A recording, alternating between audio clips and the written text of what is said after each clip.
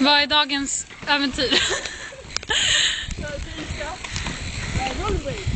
Första gången på cirka sju år. Jag har storlek 40 i skor och de här är 38 så det är jäkligt ont. Men chilla då! Det är fan grym. Jag är fan ganska trött av det här. Va? Det är fan jobbigt. Dagens träning.